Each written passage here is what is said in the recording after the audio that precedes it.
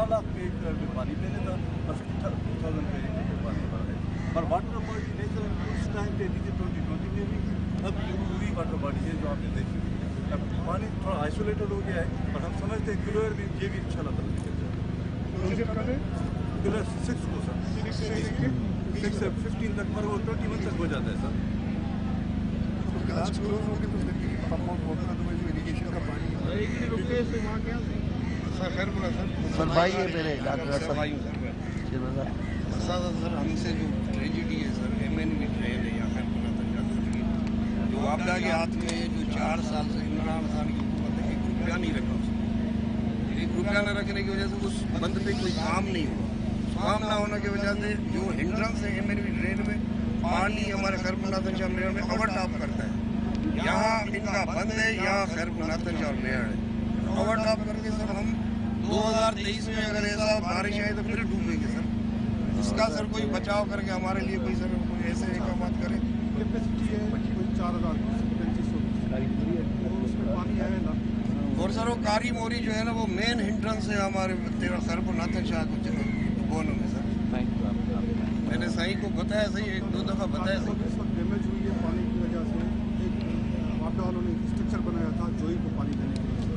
जब वापदार ने थी तो उस बिल्डिंग था उन्होंने पानी उस वही काली मोड़ी जो एम एन ने बनाई थी वो डैमेज हुई है इस फ्लड के अंदर इसमें जाते जोही के फ्लैश हो गई है ऑल्टरनेट अरेंजमेंट जो पानी पहुँचा रहे हैं आगे पानी नहीं जाता they have to repair it I don't think वो नहीं सर अभी उसमें करेंगे जब फ्लड रिसीड होगा तो पानी काली मोदी हम दोबारा बनाएँगे सर बहुत बड़ा काम है क्योंकि वो स्ट्रक्चर पूरा एक ओवर हेड ब्रिज की तरह बना हुआ है जो पानी लेकर उस तरह तो सर ये पानी जो ही तक पहुँचता ही तब सखर बैराज का वो एम के ऊपर जो ब्रिज डली हुई वो डैमेज हुई। क्रॉसिंग की जो ही ब्रांच है एमएनबी को क्रॉस करने के लिए क्या को डालते हैं? वो पूरा कोलैप्स कर गया। तो पूरी साइड हमारी इरीगेशन जो चली। ऑलरेडी डन कल्टिवेशन लेकिन इन्होंने एमएनबी को यूज़ करके पानी पंप करके पंपिंग हम दे रहे हैं। चल रहे हैं कुछ पंपिंग चल रही है। हमारे वो ट्रैक्टर माउंटेड पंप लगा के पानी दे रहे हैं जिस तरह लोगों ने गंदम लगाई है उनकी कुछ रिलीफ दे सकें सर रिलीफ एफर्ट्स के बारे से थोड़ा सा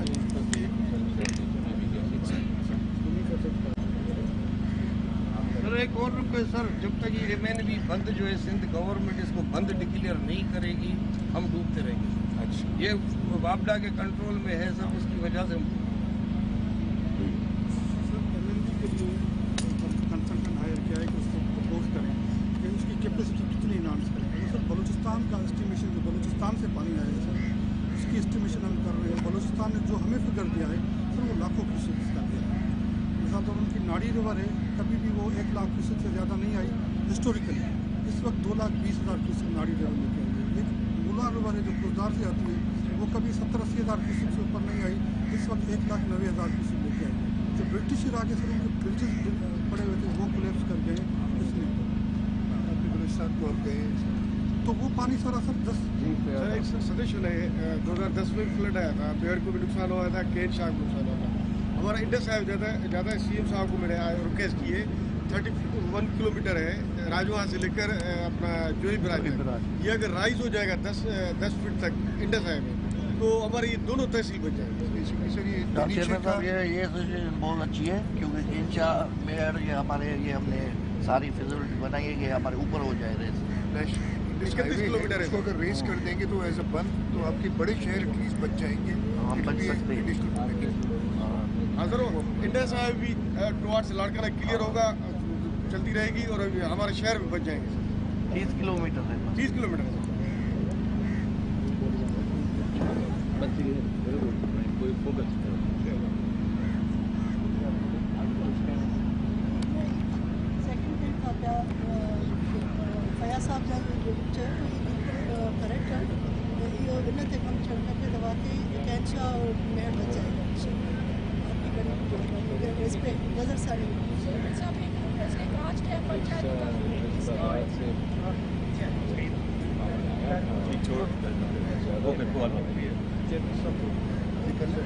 सर हमारा जो इस बार जो सिंध गवर्नमेंट है ना एल एस बंद काफ़ी उस पर काम हुआ था। उस साइड से हमें बिल्कुल थ्रेट नहीं थी। और एम भी जो है उसकी हालत बहुत ख़राब थी। सी एम साहब आए उन्होंने देखी। फिर सी एम साहब ने हमें कहा कि आप इस पर मशीनरी हायर करके उसकी हालत क्योंकि काउंसिल रेंज की वजह से उस पर बड़े बड़े घारे पड़ गए थे। वापडा and completely ignore that M N V शायद साई ने भी आपको यही बताई है। तो सी एम साहब ने हमें कहा कि जो अभी इनका वज़ीर है वापडा का वो आया भी था। जी सर हमने उनको ये बात कही। प्राइम मिनिस्टर साहब आए थे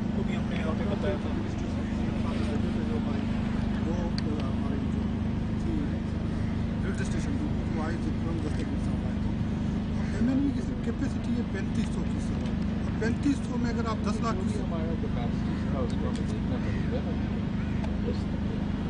पे ही सारे हाँ सर अगर तो इस पे जो बात कर रहे हैं दो चीज़ें तो एमएनबी की कैपेसिटी बढ़ानी कितनी बढ़ाएँ दूसरा जो बात की है कि अगर एमएनबी को as a protection line use करें बंद उस पर कुछ जोई वाले शायद परेशान होंगे बिकॉज़ फिर वो और डूबेंगे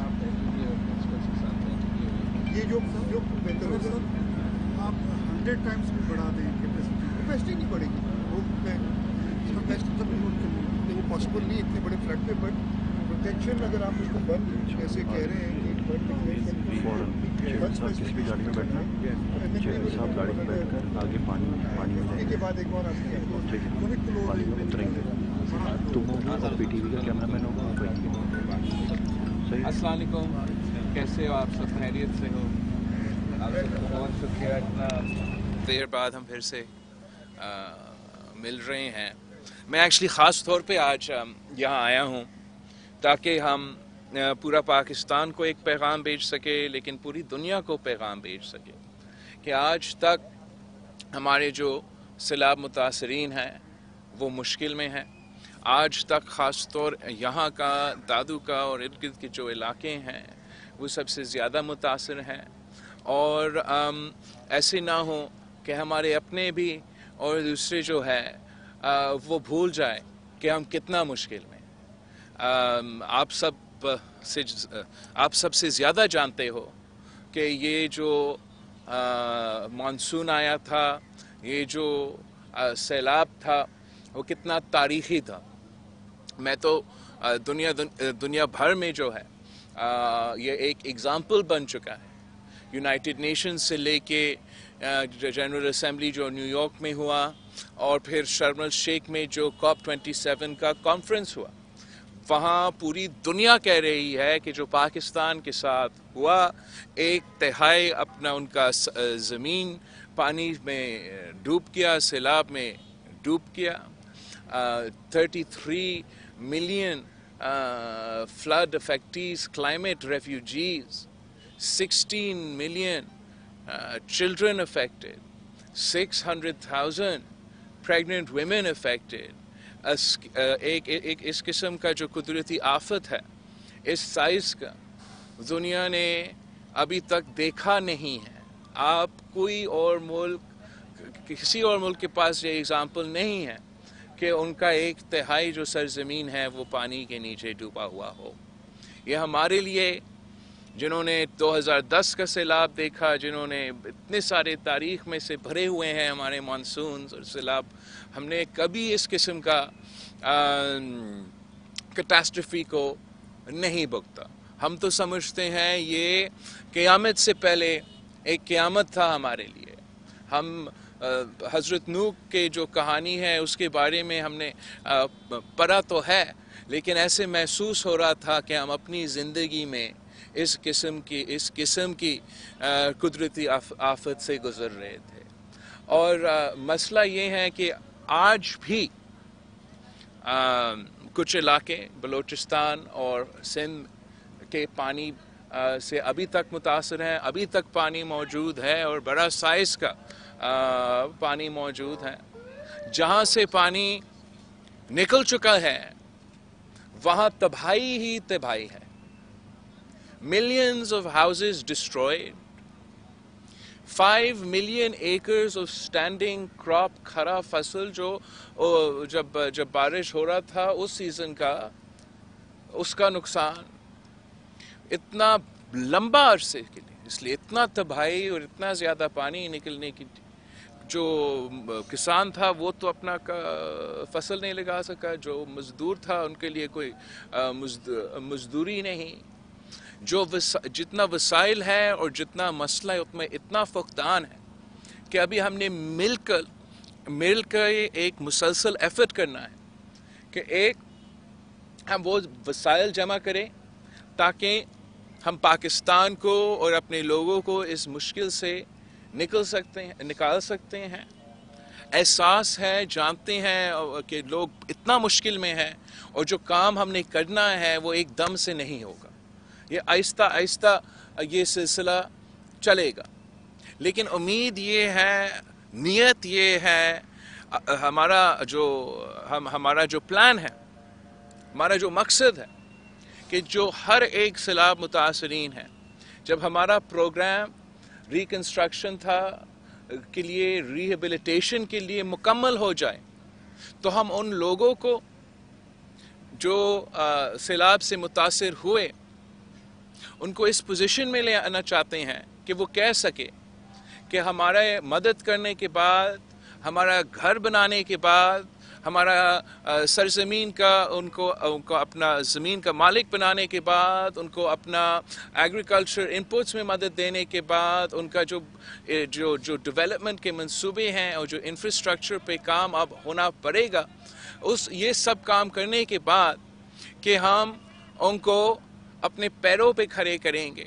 मुआशी तौर पे इन ताला जब ये सिलसिला जो थोड़ा सा टाइम लगेगा हमें ये सिलसिला पूरा करने में लेकिन जब हम ये सिलसिला पूरा करते हैं तो इन ताला उनका मुआशी हालत जो है वो सैलाब आने से पहले जो उनका आ, उनका मुआशी ताकत था उससे भी बेहतर होगा।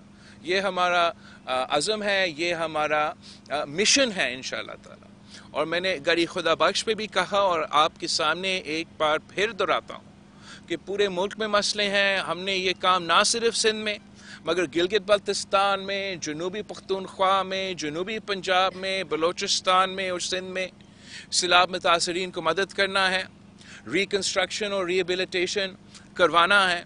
मगर हम खुश नसीब है कि हमारा चीफ मिनिस्टर ने इंतज़ार नहीं किया और जैसे ये मानसून का सिलसिला चल रहा था। उसी वक्त चीफ मिनिस्टर सिंध साहब ने मुझे जो वर्ल्ड बैंक का डायरेक्टर है पाकिस्तान का और जो वर्ल्ड बैंक का डायरेक्टर है अफ़गानिस्तान का, उनके उधर कोई मसाइल थे, उनसे मिलवाया। वहाँ जैसे हम अगस्त के बीच में थे और अभी तक पानी का जो जो मानसून है वो रुका नहीं था।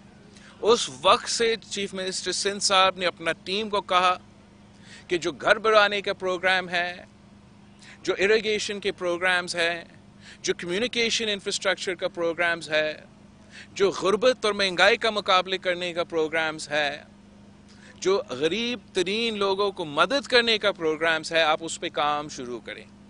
और ये काम जल्दी शुरू होने की वजह से, शुक्र अल्हम्दुलिल्लाह जब मैं पिछले बार अमेरिका पहुँचा तो हम ये सारे प्रोग्राम्स वर्ल्ड बैंक के बोर्ड से अप्रूव करवाएँ और तक 1.7 बिलियन डॉलर्स तकरीबन दो अरब डॉलर का जो कर्ज है, सिंध हुकूमत की तरफ़ से वर्ल्ड बैंक से लिया जा रहा है ताकि हम जहाँ तक घरों का सिलसिला है, जिसका भी घर को नुकसान हुआ हो और उसका पूरा सर्वे जो सारे वफाकी इदारे हैं और लोकल इदारे हैं और यूनाइटेड नेशंस के इदारे हैं उन्होंने मुल्क भर में सर्वे किया है जहाँ जियो लोकेशन भी मौजूद है जहाँ उन घरों का जो हालत था सैलाब के बाद वो तस्वीरें भी मौजूद हैं। और उस उन, उन उनकी डाटा के मुताबिक उनके मेरिट के मुताबिक हम इन ताला हर मुतासर ख़ानदान को एक एक स्टाइपन देंगे। ताकि वो स्टाइपन के साथ अपना घर को बना सकें। हम उसके ऊपर उनको एक बिला सूद कर्ज देंगे, ताकि अगर वो मज़ीद काम करना चाहें, अपना घर को बनाने के लिए, वो भी उनको फ़ायदा मिले।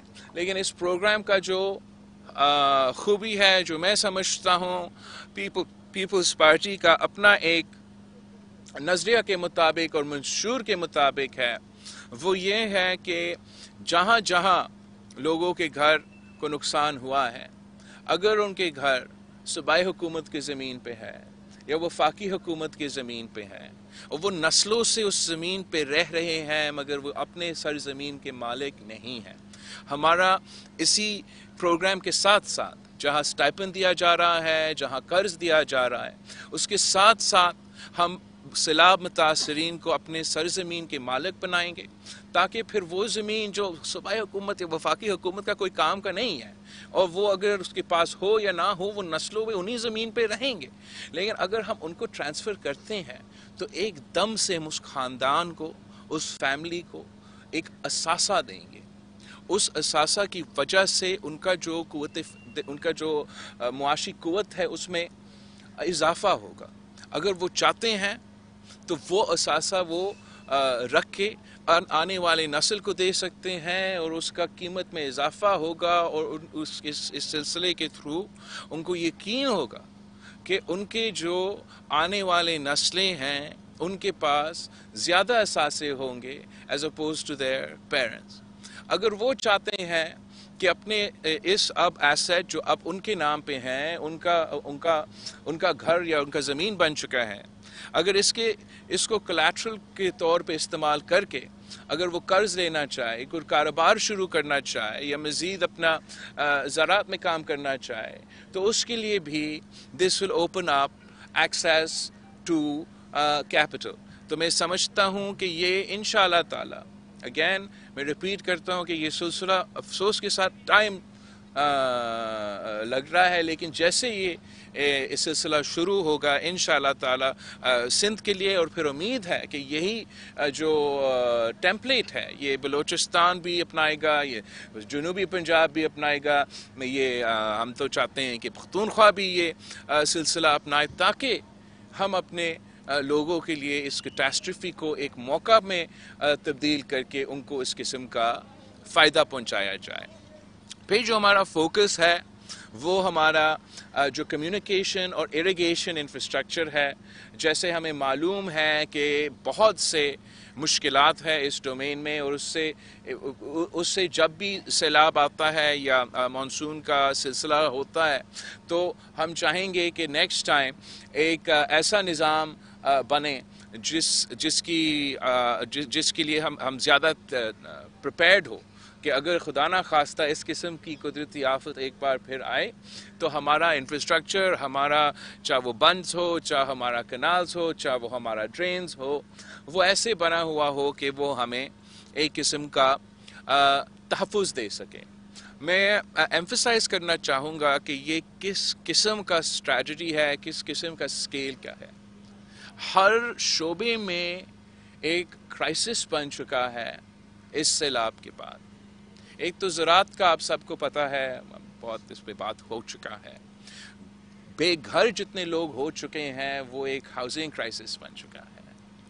जिस रफ्तार से जिस तादाद में लोग गुर्बत के लकीर के नीचे दखेले गए हैं, ये भी एक मुआशी क्राइसिस बन चुका है। ख़ास तौर पे उन ख़ानदानों के लिए, मगर पूरा पाकिस्तान के लिए इसका एक मुआशी असर होगा। जो सेहत के शोबे में एक क्राइसिस बन चुका है वो क्यों? एक तो जो पानी से बीमारियाँ फैलते हैं उनमें तो इजाफा ही इजाफा हुआ है। मगर साथ साथ जो हमारा हेल्थ इंफ्रास्ट्रक्चर है इन उन इलाकों में जहाँ ये ये, ये सैलाब इतना इतना इतना स्ट्रेंथ के साथ आया वो वहाँ हमारा जो सेहत का इंफ्रास्ट्रक्चर पे नुकसान हो चुका है। ये एक तालीम का क्राइसिस है। इसलिए सूबा सिंध मैं सिर्फ़ सूबा सिंध की बात करूँ, अब बाकी मुल्क में भी आपका तालीम के, तालीमी इदारे को नुकसान हुआ है। लेकिन सूबा सिंध में जो 50 फ़ीसद हमारा तालीमी इदारे हैं, वो या डैमेज है या कम्प्लीटली डिस्ट्रॉयड है। और ये वही जो 50 फ़ीसद हमारे तालीमी इदारे हैं, उनमें हमारे बच्चे 50 फ़ीसद सिंध के स्कूल गोइंग चिल्ड्रन, उन 50 फ़ीसद जो तालीमी इदारे हैं, उनमें जाते हैं, उनका तालीम पे असर हुआ है। ये एक कॉम्पाउंडिंग क्राइसिस है। और जितना मुआशी तौर पे नुकसान होगा, जितना मुआशी हालात बिगड़ेंगे, उतना एक लॉ एंड ऑर्डर का ख़तरा बनेगा। तो हम चाहते हैं कि जितना संगीन ये क्राइसिस है, उतना संजीदगी के साथ। हमारा वफाकी हुकूमत तो अपनी जगह, सूबाई हुकूमतें तो अपनी जगह, लेकिन हमारे मुखालिफ भी इसको उतने संजीदगी के साथ लिया जाए।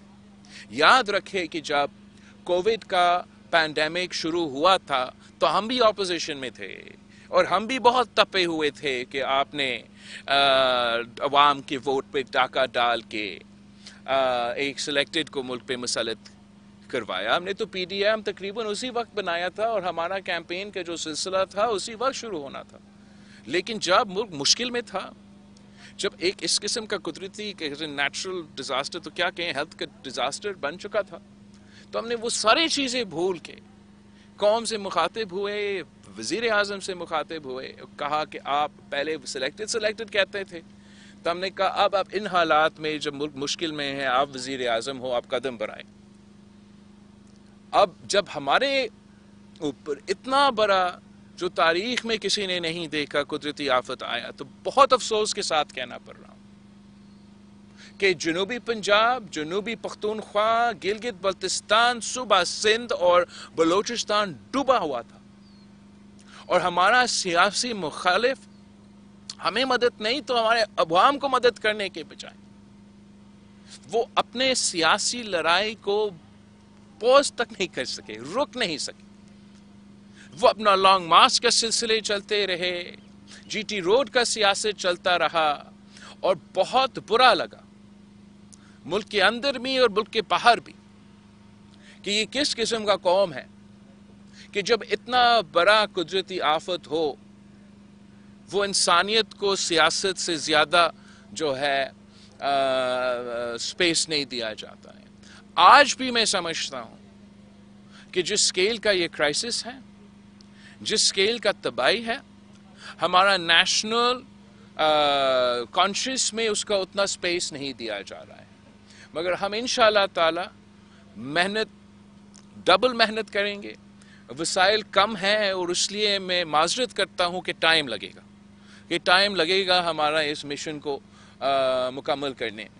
लेकिन मैं ये अब मेरा अब एक किस्म का एक एक, एक मकसद एक मिशन एक जहन इस, इस पे बन चुका है कि इन ताला हम ऐसे अपने लोगों को लावारिस नहीं छोड़ेंगे और हम इंश्योर करेंगे कि जितना भी टाइम लगे हम दुनिया भर में जो भी मदद इकट्ठा कर सकते हैं, वो भी इकट्ठा करेंगे। जितना फाइनेंसिंग जमा हो सकता है, हम अभी से करेंगे।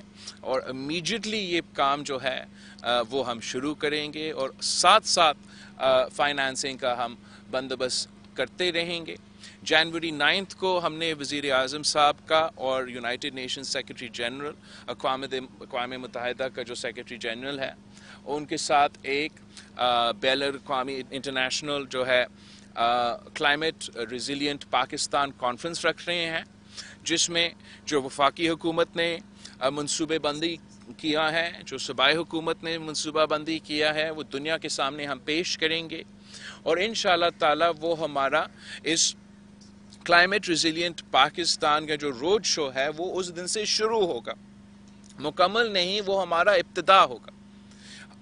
हम हम हम लॉन्च करेंगे और फिर पूरा साल कॉप 28 जो यूएई में हो रहा है, तब तक हम इस इन इन मंसूबे को, दुनिया भर में जगह जगह जाके, वहाँ के हुकूमते को, वहाँ के प्राइवेट सेक्टर को, ये प्रोग्राम्स वहाँ के मल्टीलैटरल इदारे को ये प्रोग्राम्स के बारे में बताएँगे, ताकि हम जितना आपको ज़रूरत है जो कि काफ़ी बड़ा रकम है फाइनेंसिंग का, उसका हम मैनेज करेंगे।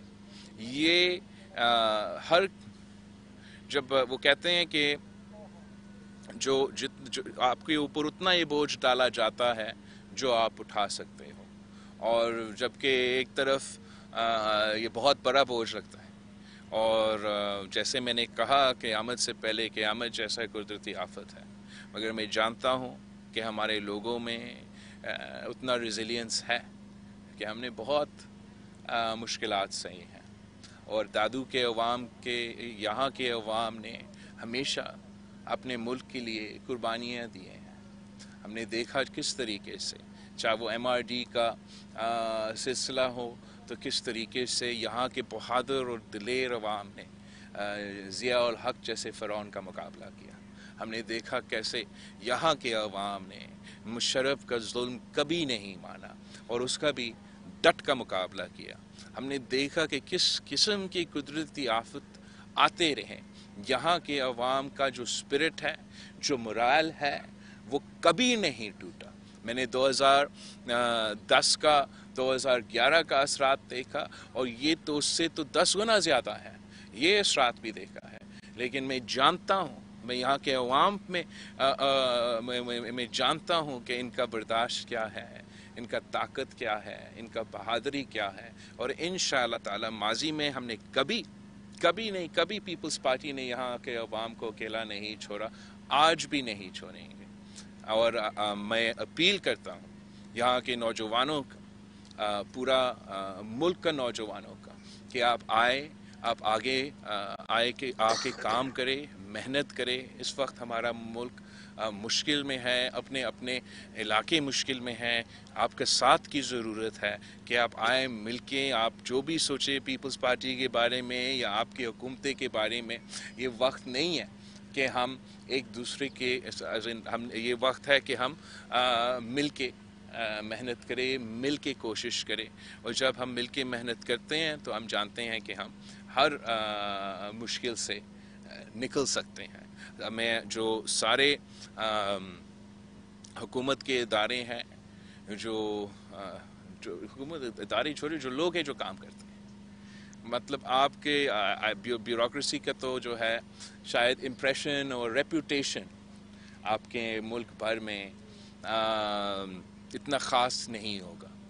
मगर मैंने देखा किस तरीके से छोटे छोटे लेवल से लेके आपके S P D C level तक और कमिश्नर लेवल तक का ऑफिसर्स हैं। महीनों की बारिश फिर उसके बाद जो आ, जो जो जो जो कुदरती आफत का जो इतना बड़ा सैलाब का और उसके बाद जो रिलीफ का सिलसिला है उसमें जिस तरीके से इन लोगों ने मेहनत किया गालियाँ खा के धक्के खा के हमारा नाराज़गी वक्त के जिस तरीके से मेहनत किया गया, वो पाकिस्तान का असल ताकत है कि आप हम, आप लड़काना में हमने जो कचरा उठाने का सर्विस शुरू किया। उस हमारा सिंध वेस्ट मैनेजमेंट बोर्ड का जो लोग हैं उनसे लेके लेडी हेल्थ वर्कर्स से लेके मुख्तियार कार एसी वो सारे के सारे लेके वो दिन रात अपने लोगों को मदद करने में आ, लगे हुए थे। हमारा जो आ, जो जो फौज ने भी आ, आके मदद की पूरी दुनिया का मैं यूनाइटेड नेशंस का ख़ास तौर का सेक्रेटरी जनरल का शुक्रगुजार हूँ कि हमारा दावत को कबूल किया। और उस वक्त जब उनका अपना जनरल असम्बली चल रहा था और उसने पूरा दुनिया के क़्यादत का मेज़बानी करना था, उसने हमारा एक रिक्वेस्ट पे सब कुछ छोड़ के पाकिस्तान पहुँच के खुद अपनी आँखों से भी देखे क्या तबाही था और दुनिया भर तक फिर ये पैगाम पहुँचाया। हम चीन का हुकूमत के शुक्रगुजार हैं कि उन्होंने फ़ौर फ़ौर उस मुश्किल वक्त में हमारे साथ दिया और तब भी बड़े ऐलान किए और आगे जाके हमें रिकन्स्ट्रक्शन रिहेबिलिटेशन में मदद कर रही हैं। मैं यूनाइटेड स्टेट्स का, अमेरिका का शुक्रगुजार कि उन्होंने उस वक्त एक पूरा एयर ब्रिज खोल दिया था और उनका अपना जो यूएसएआईडी का एक ऑर्गेनाइजेशन है, उनके थ्रू अपना रिलीफ एक्टिविटी शुरू मैं वर्ल्ड हेल्थ ऑर्गेनाइजेशन का शुक्र गुज़ार हूँ जिसका जो जो इंचार्ज है वो बीबी का एक ज़माने में जानने वाला था। उन्होंने वर्ल्ड फ़ूड प्रोग्राम ने जिस तरीके से और अभी तक जिस तरीके से पाकिस्तान को आ, मदद कर रहे हैं। हमारा जो मिडल ईस्टर्न कंट्रीज़ है चाहे वो सऊदी अरेबिया हो चाहे वो कोवैत हो चाहे वो यूनाइटेड अरब एमरेट्स हो यूएई का सफ़ीर बेचारा ने ख़ुद पता नहीं कहाँ कहाँ पहुँचे। और हर ना सिर्फ़ उनके हुकूमत की तरफ़ से मगर उनके आम पब्लिक की तरफ़ से जो मदद हमें दिया गया। एक्सपो सेंटर यूएई में इन्होंने डोनेशंस के लिए आ, आ, ये इनकी बिल्डिंग्स खोले थे और वहाँ इतना मजमा ने आके आ, मदद किया। बहुत से ममालिक है अगर मैं उनका एक एक ज़िक्र करूँ तो बहुत टाइम लगेगा। मगर दुनिया ने पाकिस्तान को उस वक्त अकेला नहीं छोड़ा। पूरी दुनिया ने हमारे साथ शाना बिशाना खड़े होके इस मुश्किल का सामना किया, जो फलाई इदारे हैं। पाकिस्तान के अंदर, पाकिस्तान के बाहर, उन्होंने जिस तरीके से हमें मदद किया, हम उनका भी शुक्रगुजार हैं। जो आम पब्लिक है, जो पाकिस्तान का शहरी है, जिस जिस तरीके से हमारा मदद किया गया हम इन सब का शुक्रगुजार हैं। मगर ये अपील करना चाहेंगे, समझाना चाहेंगे कि अभी तक सैलाब का पानी भी मौजूद के इलाके में है और अभी तक सैलाब मुतासरीन मदद की ज़रूरत में है। हम उन, वही जो ख़ास तौर पे फ़लाही इदारे और हमारे अपने लोग जो मदद कर रहे थे जब सी एन एन और बीबीसी पूरा डूबा हुआ दिखा रहा था लेकिन शायद इस वक्त उनको नज़र नहीं आ रहा है और वो समझ रहे हैं कि ये सैलाब ख़त्म हो चुका है। उनको मैं बताना चाह रहा हूँ कि आपकी मदद की अभी तक ज़रूरत है। सर, सर्दी का मौसम अब आ रहा है हमारा ज़रूरियात कुछ मुख्तलफ है। अभी जो भी मदद किया जा सकता है आज भी वो मदद की ज़रूरत है। आप प्लीज़ उन इलाके से कोऑर्डिनेट करें। हमें ब्लैंकेट्स का भी ज़रूरत है, गर्म कपड़े की भी ज़रूरत है और बाकी जैसे पहले सिलसिला चल रहा था, उन चीज़ों का भी ज़रूरत है।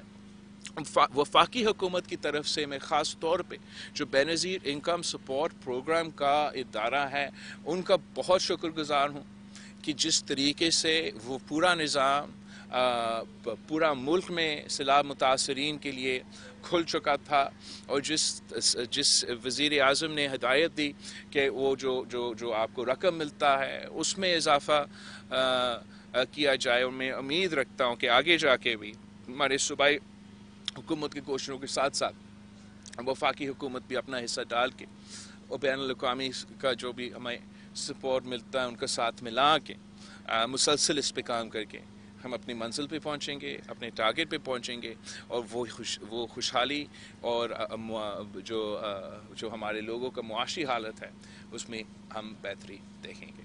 थैंक यू साबिर साबिर साहब साहब, सदर प्रेस क्लब का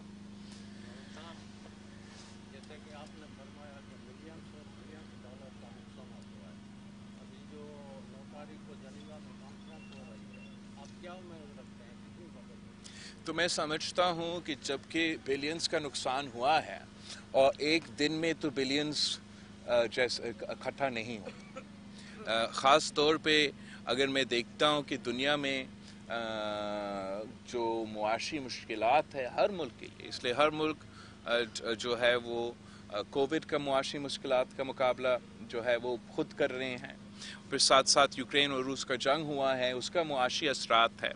तो इसलिए मैं कह रहा हूँ कि जनवरी नाइन्थ जो है, वो हमारा इब्तदा है।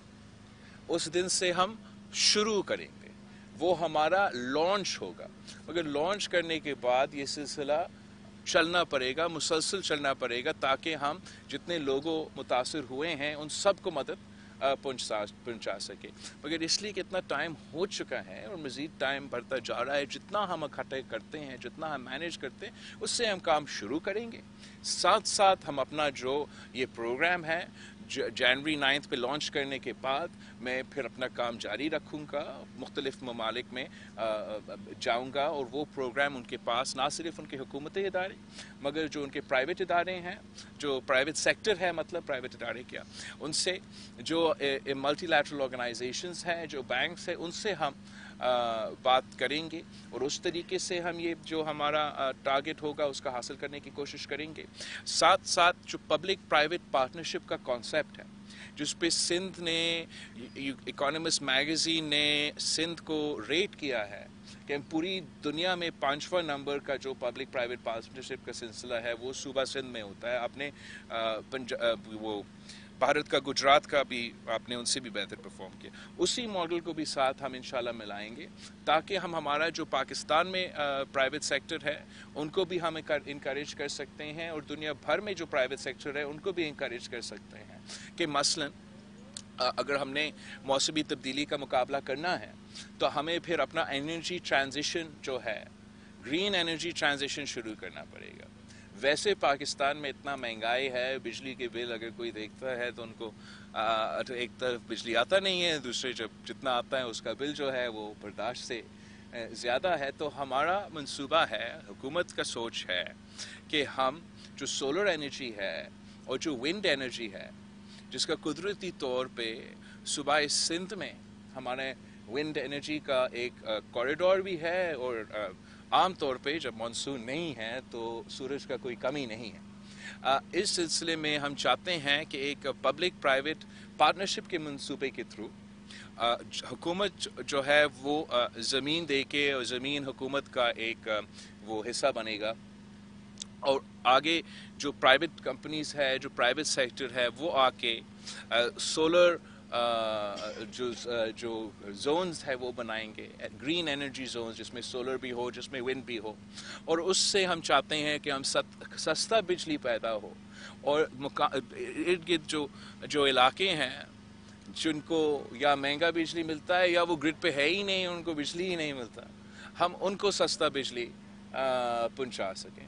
सो so, इस तरीके से हमने ना सिर्फ़ इंटरनेशनल जो आलमी इदारे हैं उनका मदद का उम्मीद रखते हैं, लेकिन हमारे पास ऐसे कोई मंसूबे हैं जो कि फाइनेंशली वायबल भी है, जो हम कमर्शली प्राइवेट सेक्टर के साथ या कमर्शियल बैंक्स के साथ मिलके चला सकते हैं। और अगर हम पब्लिक प्राइवेट पार्टनरशिप से कोयला निकाल सकते हैं और उससे बिजली बना सकते हैं तो कोई there is no reason why हुकूमत Sindh can't go into the green energy sector is Shiraz diary Shiraz कौन? आप शिराज हो? कैसे आप शिराज कौन सा चैनल से ये दारा से? पीटीवी अच्छा। आजकल पीटीवी को सवाल दिया जाता है तो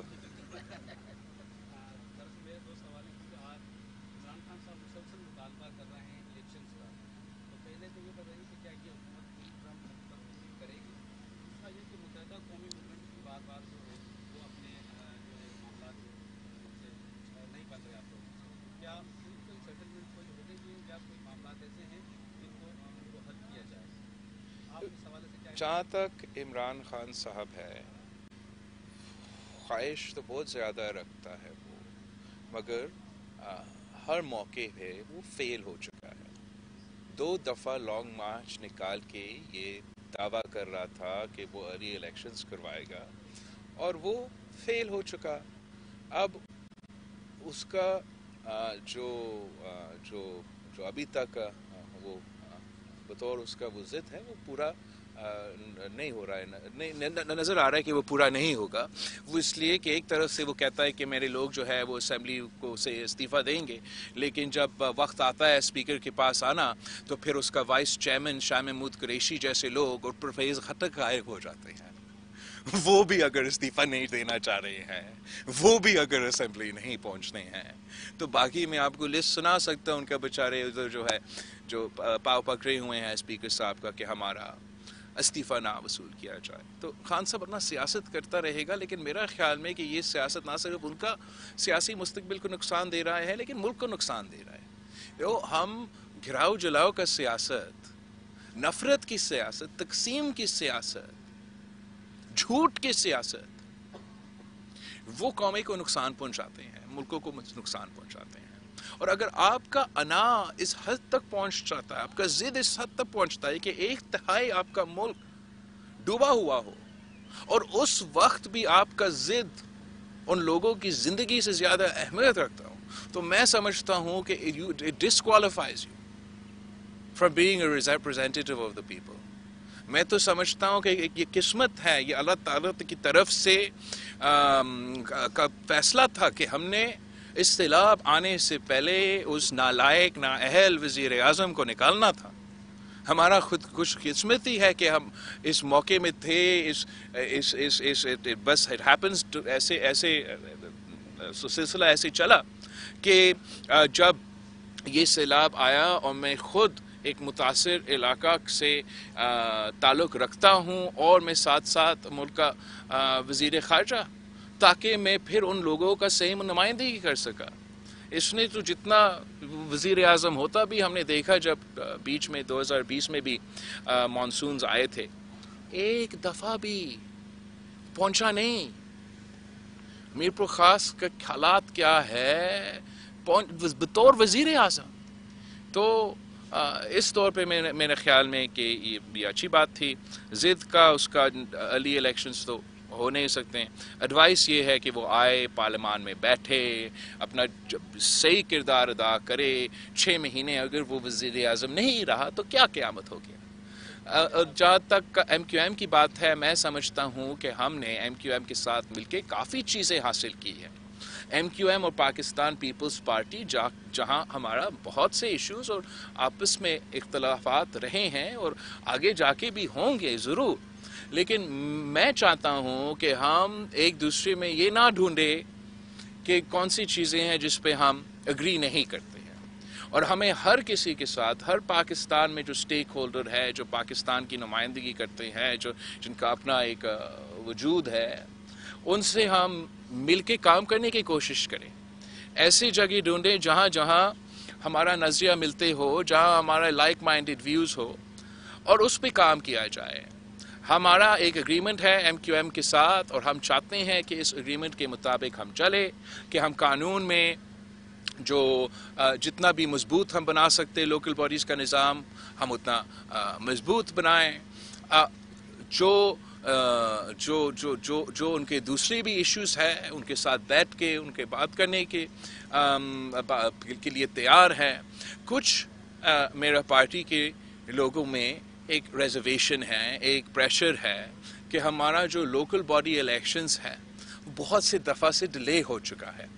और उसकी वजह से सियासी नुकसान का मुझे फ़िक्र नहीं है। वो इलेक्शंस आप जीतते हो, आप हारते हो, अगर हम हारते तो हारते जीतते तो जीतते मसला है कि हमारा जो गवर्नेंस है, उस सफ़र कर रहा है। देखिए, जब सैलाब आ रहा था तो लोकल बॉडीज़ का पहला फ़ेज़ तो गुजर चुका था।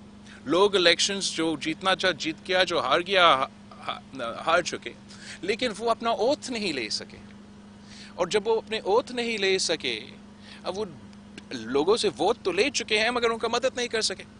अगर वो सैलाब के दौरान मेरा फ़ेज़ वन का लोकल बॉडीज के लोगों को एटलीस्ट स्वेर इन किया जाता तो वो पूरा जो फोर्स है, जो फौज है आपके लोकल बॉडीज के नुमाइंदे, वो अवाम को मदद कर सकते थे। आज भी हमारे ऊपर, उन इलाकों में वो प्रेशर है। बाकी आपके यहाँ वैसे तो मैं जानता हूँ कि लोग निकल के मेहनत तो किया लेकिन अगर हमारे नुमाइंदे मौजूद होते हैं सैलाब के मुतासरीन को मदद करने उस वक्त भी हमें हमें काम आता और आज भी जिस स्केल का जो चैलेंजेस है उनको मदद करने में आ, हमें एक किस्म का गुंजाइश मिलता है। तो हम तो हर चीज़ में हर मौक़ पे एम क्यू एम के साथ आम, दूसरी जमातों के साथ आ, मिल के आ, चलने के लिए तैयार हैं। ये जो ताहिया डिले है हमारा इलेक्शंस के इस पे हमारे कुछ एतराज़ात हैं जिस पे हम बातचीत करते रहेंगे। शुएब सिंह दुनिया तहीम। एक सवाल है 2010 में सैलाब ने बहुत बड़ी तबाही मचा दी। उसके बाद हुकूमत को तवज्जो देनी चाहिए थी सुपरियो बंद और एम ट्रेन की पुश्तें मज़बूत करने के लिए। तो अभी 2022 में सबसे ज़्यादा मुतासर जिला दादू हुआ तो अभी आइंदा जो सैलाब से निमटने के लिए हुकूमत इस तरफ़ क्या तवज्जो तो एक तो आम, मैं समझता हूँ तवज्जो तो हमेशा देना चाहिए। वो तो आप, अपनी जगह सही है। आ, लेकिन 2010 के सैलाब के बाद जितना हमने इंफ्रास्ट्रक्चर इम्प्रूवमेंट के लिए काम किया वो भी एक हकीकत है। मैं आपके बंद पे बात नहीं कर सकता ना कमेंट कर लेकिन एफ़ पी बंद जो है वो एफ़ पी बंद, जो मेरे यहाँ के नज़दीक है, उसको वो ब्रीच हो चुका था 2010 के फ्लड्स के बाद, और हमने फिर आलमी इदारे के साथ मिलके, अपने नहीं कि आप कहें कि यू नो दो नंबर काम हुआ, आलमी इदारे के साथ मिलके, उनसे, उनके एक्सपर्ट से, उनका इनपुट से, वो एफ़ पी बंद को हमने उस 2010 के फ्लड या 2011 के फ्लड्स के जो स्टैंडर्ड्स थे, उससे बहुत ऊँचा और बहुत और ताकतवर बनाया था। लेकिन उस वक्त के एक्सपर्ट्स भी हमने, ने हमें ये नहीं बताया कि 10 साल बाद इस लेवल पे, जहाँ एक तहाई आपका जो सरजमीन है, वो पानी से मुतासर होगा। और ये ये सिर्फ़ हमारे इलाके में नहीं, इसलिए पूरा पाकिस्तान के लिए हमने रिकन्स्ट्रक्शन का सिलसिला शुरू किया था।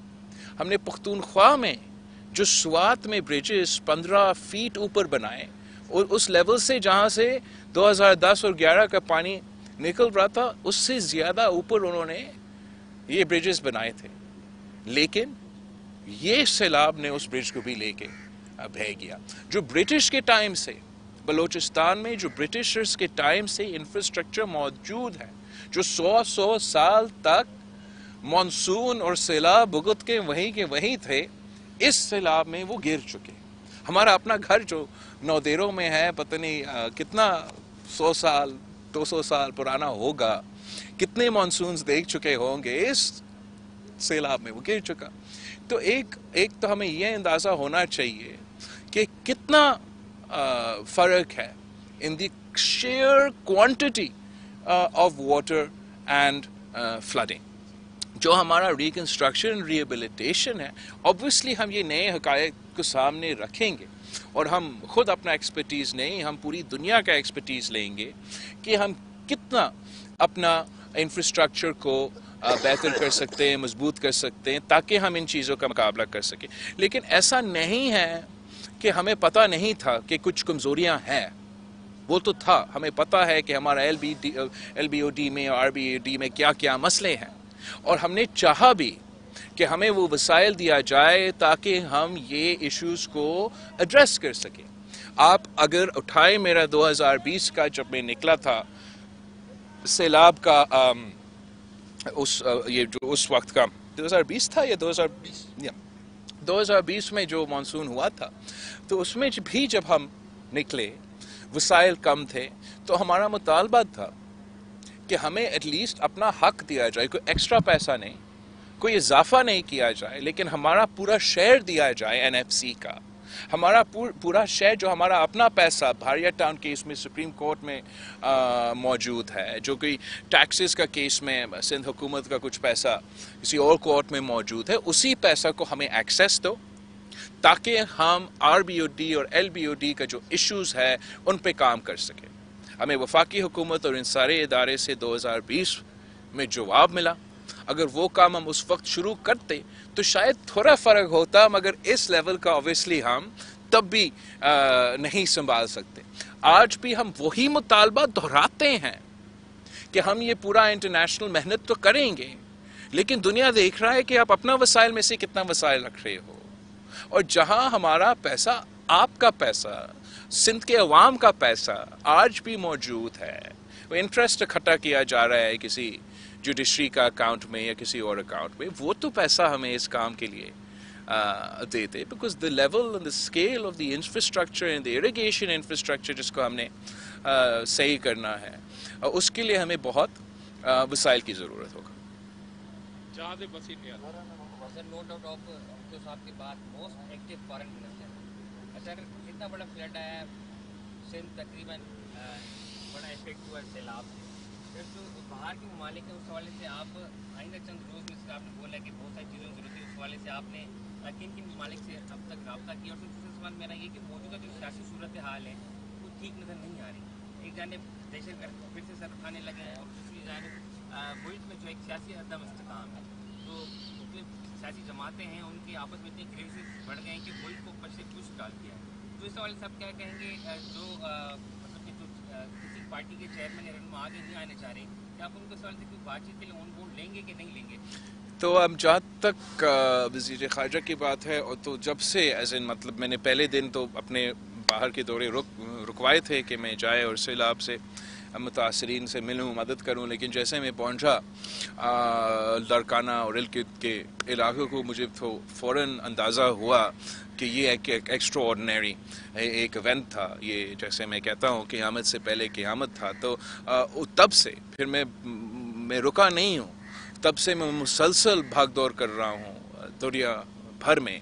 और वो इसलिए कि लोग का कब यादाश्त तो थोड़ा सा कमज़ोर होता है और तीन चार दिन के लिए आपका बीबीसी पे और सीएनएन पे वो दिखा रहे थे कि पाकिस्तान डूबा हुआ, फिर दूसरे क्राइसिस हो जाते टेंशन चला जाता है।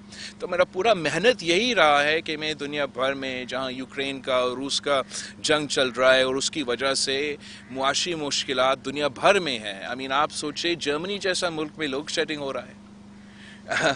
तो तो एक बहुत मुश्किल वक्त। यू नो मुआशी तौर पे उनके लिए भी, चीन के लिए जो कोविड का इम्प्लिकेशंस है, उसके बाद जो मुआशी हालात है, वहाँ भी वो अपना बेल्ट टाइटनिंग कर रहे हैं। तो इस मुश्किल मुआशी हालात में मैं मुसलसल जगह जगह जाके सलाब मुतसरीन की जो मसला है, वो एक बार फिर उनको याद दिलवाता है। मदद लेने की कोशिश करता हूँ फाइनेंस करने का जो तरीका है, वो हम उस सिलसिला में हम कोशिश कर रहे हैं।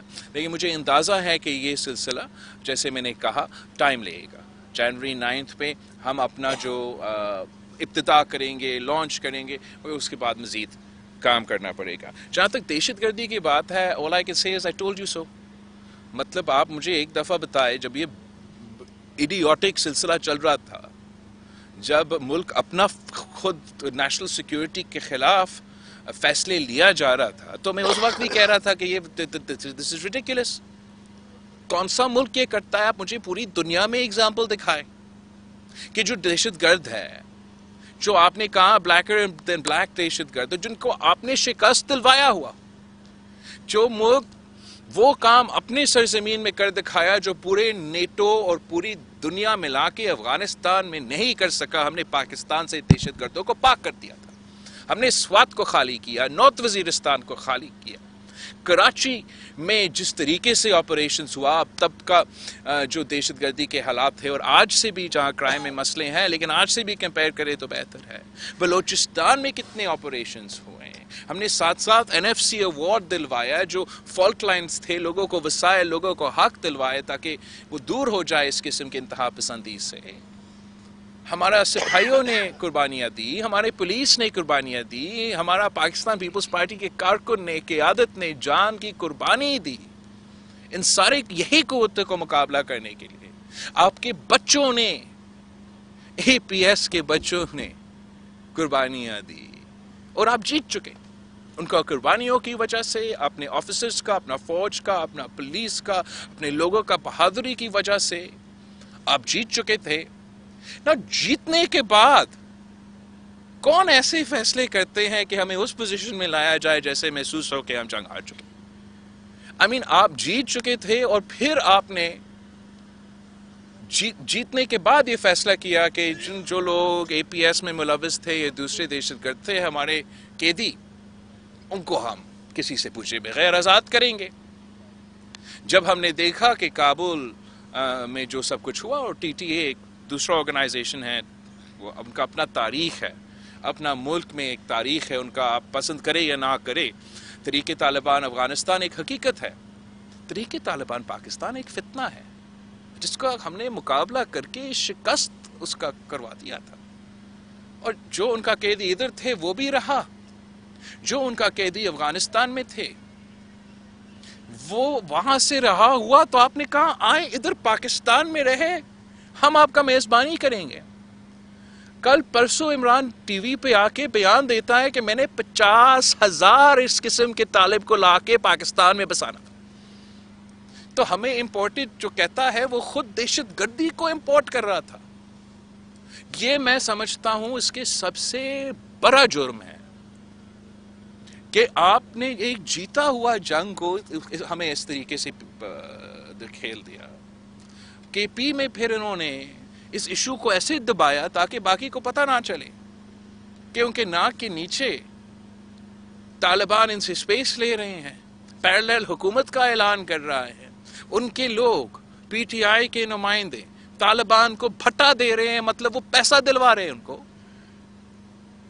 किस मुँह से वो बाकियों को लेक्चर दे सकते उसको पहले जाके एपीएस के बच्चों को पाव पकड़ के माफ़ी मांगना चाहिए। कि कैसे इसने ये फैसला लिया? इसने हमारा शोदा का जो खून है, उस पर कैसे सौदा किया? कि आज पाकिस्तान उस सूरत हाल में है कि एक बार फिर दहशत गर्दी अपना सर उठा रहा है। हमने नेशनल सिक्योरिटी कमेटी में ये तय कर चुके हैं कि जो भी ये एक्सपेरिमेंट था, इमरान का अपीजमेंट का पॉलिसी था, वो हम नहीं मानते हैं। हम पाकिस्तान में पाकिस्तान का आइन का रिट कायम करेंगे। जो दहशतगर्द है, जो दहशतगर्दी कर रहा है, करना चाहते हैं, उनके खिलाफ हम एक्शन लेंगे। जो पुरामन लोग हैं, जो पाकिस्तान को आइन मानते हैं, जो इधर अमन के तौर पे जीना चाहते हैं, कोई जुराइम में मुलवस नहीं है, वो तो सौ बिस्मिल्ला लेकिन दहशत गर्दों को ना मैं माफ़ करने के लिए तैयार हूँ, ना हुकूमत माफ़ करने के लिए तैयार है, और ना इस मुल्क के अवाम माफ़ करने के लिए तैयार है। तीसरी बात जो आपने कहा पोलिटिकल स्टेबिलिटी का। इस मुल्क में पॉलिटिकल स्टेबिलिटी कैसे आया? जब था आपका थोड़े पीरियड के लिए। वो 2007 से लेके 2018 तक का दौर था। बाकी 1947 से लेके तब तक और 2018 के बाद आपके पास पॉलिटिकल स्टेबिलिटी नहीं रहा। वो इसलिए कि हमने फैसला किया कि ज़ाती दुश्मनी तो नहीं है। हमने सब इसी मुल्क में रह के इस मुल्क को चलाना है। एक आइन है इदारे हैं, जैसे पार्लियामान है, जुडिशरी है, दूसरे हैं। और आज के बाद जो है, हम एक दूसरे को ज़ाती दुश्मन नहीं, सियासी मुखालिफ समझेंगे। जहाँ हमारा नज़रिया मिलता नहीं है, वहाँ हम पॉलिसी पे इख्तलाफ करेंगे, जहाँ हम मिल के काम कर सकते हैं, हम काम करवाएँगे। और इस तरीके से जो खान साहब मुकमुका कहता था इसको रेकन्सिलिएशन को, इस तरीके से हम पाकिस्तान को पॉलिटिकल इंस्टेबिलिटी से हमने निकाला था। हमने आइन को कायद अवाम का 1973 का शक्ल वापस दिलवाया, अठारहवीं तरमीम की सूरत में।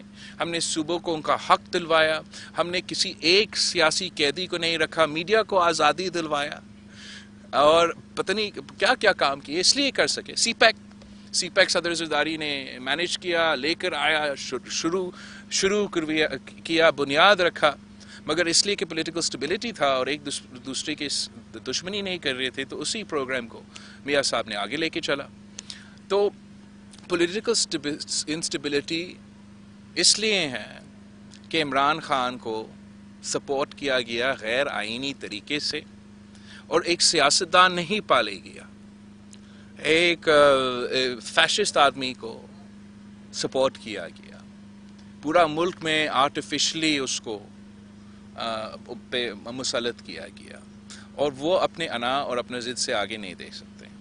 तो मेरा ख्याल में मैंने निशानदेही की है कि अगर पॉलिटिकल स्टेबिलिटी चाहते हैं या वो आके पार्लियामान में बैठ के सियासतदान बने जमहूरी सियासतदान बने और ऐसे इस निज़ाम के तहत चले या नहीं तो इलाज भी है हमारे पास वो बाद में बताता हूँ आपको। निज़ामुद्दीन शेख। लोगों के जो मसाइल हैं वो महँगाई है। बिल्कुल सही। आपने करवा दिया उसके बाद भी जो है ना महँगाई और भी बढ़ी। बिल्कुल सही। तो ये मसाइल आप कैसे हल तो मैं एक तो हमने जब जिदोजहद किया इस सिलेक्टेड हुकूमत के ख़िलाफ़ तो कुछ बुनियादी चीज़ें थे जिस जिसकी वजह से हम ये एहतजाज कर रहे थे। एक जो जो हमारा जमहूरीत को आ, हमारा आज़ादी को हमारा पार्लिमानी निज़ाम को हमारा सूबाई ख़ुद मुख्तारी को हमारा आ, जो एन एफ़ सी अवार्ड है सब के के पीछे भी पड़ गए थे। तो जो हमारा हक पे टाके मारे जा रहे थे उसका हमने आ, तो, तो, तो सिला करना था सही करना था और साथ साथ तो मुआशी बुरान था। और हम जिस मुआशी बुरान के ख़िलाफ़ एहतजाज कर रहे थे वो इमरान का पैदा किया गया मुआशी बुरान था। मसला सिर्फ़ तब आया जब इमरान को और अगैन ये ऐसे एक कदम था जो हमारे सोच से बाहर है कि कैसे एक वज़ीर अजम ये कदम उठा सकता है। कि निकलने से पहले इमरान ने अपना किया गया जो वादे थे आलमी इदारे के साथ, वो तुरवाए, पाकिस्तान का को दिवालिया बना दिया, डिफ़ॉल्ट के ख़तरे में धकेल दिया। और ऐसे सूरत हाल हमने कभी पाकिस्तान की तारीख में नहीं देखा जो मुआशी तौर पर उस मुश्किल में थे। तो शुक्र अलहमदिल्ला वज़ीर अजम और वज़ी अजम का फ़ाइनेंशियल टीम ने हमें उस मुश्किल से बचा दिया, मगर उस कदम की जो बोझ है, उस जो फ़ैसला है, उसका जो बोझ है, वो हमारा आम आदमी को उठाना पड़ा और उठाना पड़ रहा है महँगाई की सूरत में खाने पीने के अशिया की सूरत में, बेरोज़गारी की सूरत में। और फिर उसके बाद जब आपने बचा दिया और उम्मीद ये था कि हमारा जो चूल्हा वो फिर से चलेगा और पाकिस्तान की मीशत एक सही सिमत पे चलेगा, ऊपर से ये कुदरती आफत, जहाँ एक तहाई आपका सरजमीन जो है वो पानी में डूबा हुआ। तो इससे हम इनकार नहीं कर सकते कि मुआशी बहरान है, मगर ये सोचना पड़ेगा कि इस मुआशी बहरान से निकलने के लिए हम किस किस पे एतमाद करते हैं। अगर मैं अपने पीपल्स पार्टी के लोगों से पूछता हूँ कि इस वक्त इस मौके पे, इस मोर्चे पे आप क्या समझते हो? ये जो वज़ी अजम साहब और वज़ी अजम साहब की फ़ाइनेंशियल टीम ये मुश्किल संभाल सकते हैं? या वो आदमी जिसने ये मौलाद पैदा मुआशी बहरान पैदा किया, जिसने ये नुकसान किया?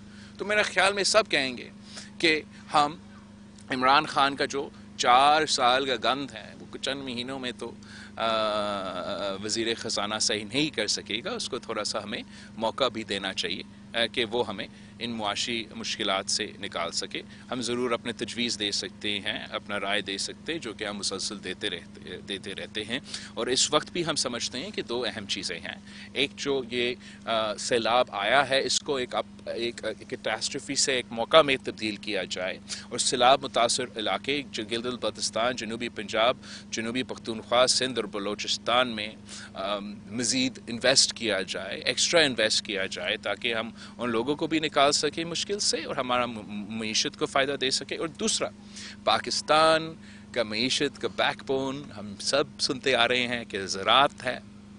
बहुत अफसोस की बात है ये जब पीपल्स पार्टी ने हुकूमत छोड़ा तो हम दुनिया को पाकिस्तान का जो चीज़ें थे, वो बेचते थे हम पाकिस्तान का गंदम, पाकिस्तान का चीनी, पाकिस्तान का जो पैदा किए गए चीज़ें थे, हम पूरी दुनिया भर में बेच देते और इस वक्त हम वो सारी चीज़ें इम्पोर्ट करते हैं।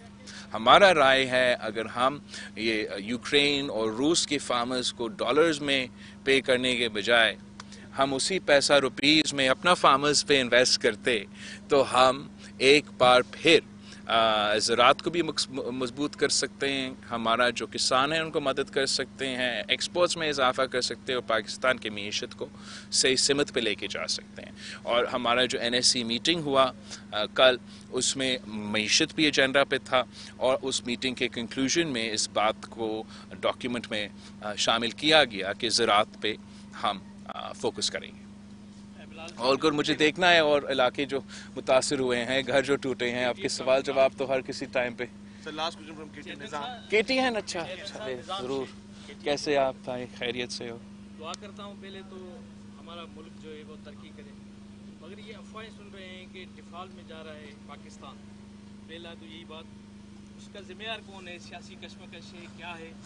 और दूसरा ये कि ये सैलाब जो आया अरबों खरबों का नुकसान तो हुआ है। ठीक है। मगर इसमें मुखालफी ये भी उंगलियाँ उठा रहे हैं कि सैलाब मिसमैनेजमेंट का भी है। आप क्या कहें? सो so, पहले जहाँ तक आ, मैं कहूँगा कि मुआशी बहरान ज़रूर है। इस वक्त हम डिफ़ॉल्ट के ख़तरे में आ, नहीं है। ज़िम्मेदार तो वही शख्स है जिसने अपने हाथों से हमारा मीशत का गला घोटा। जिसने खुद वो फैसले लिए अपने कुर्सी को बचाने के लिए, जिससे पाकिस्तान का क्रेडिबिलिटी आलमी इदारे में भी उसको नुकसान पहुँचाया और हम वाकई डिफ़ॉल्ट की तरफ़ हमें दिखेला गया। तो इस वक्त हम मुआशी बहरान में हैं। जहाँ तक सियासी मुखालफी हैं मैं उनका क्या कहूँ? एक तरफ़ यूनाइटेड नेशंस है, एक तरफ़ एंटोनियो गुटेरेस है एक तरफ़ कॉप 27 का शर्म शेख में पूरी दुनिया का क्लाइमेट एक्सपर्ट्स है और दुनिया के साइंसदान है। यहाँ आपके सामने सैटेलाइट इमेजेस है, जो ऊपर से दिखा रहा है कि दो टू थर्ड्स ऑफ़ सिंध एक एक झील बन चुका, एक समंदर बन चुका था। तो इन लोगों के में वो अकल ही नहीं है, इनको पता ही नहीं है। मैं तो समझता हूँ कि अच्छी बात है कि वो हुकूमत में नहीं थे इसलिए फिर उनके समझ से बाहर होता कि इस सैलाब को कैसे मैनेज या मिसमैनेज किया जाता इस बड़ा जो वहाँ एक तहाई एक तिहाई पाकिस्तान का सर ज़मीन पानी में डूबा हुआ हो उसका मैनेजमेंट का सवाल नहीं होता।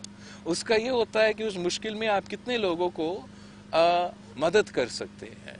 महीनों तक ये सिलसिला चलता रहा। चीफ चीफ मिनिस्टर सिंध में सीएम हाउस में था दो दिन पहले तो वो हमें बता रहा था कि जो स्टेटिस्टिक्स है कि 2005 में जब भी वो बारिश आया था, कितने लोग मर चुके और उस वक्त का कितना कंपैरेटिवली कितना बारिश था और इस वक्त कितना था और तो साइंस जो है हकाइक जो है, पूरी दुनिया जो है, वो ये बात मानती है कि ये मौसमी मौसमी तब्दीली की वजह से तबाही हैं।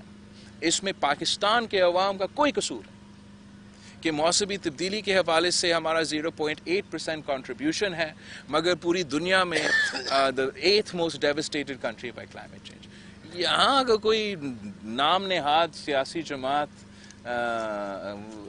इस किस्म के झूठे इल्ज़ाम लगाए तो उस पर मैं समझता हूँ बेटे हैं। वो पब्लिक का ये सवाल है कि हमारे बिलावल भुट्टो साहब कब दूल्हा बनेंगे और कब जब हम उनको बचाएँगे।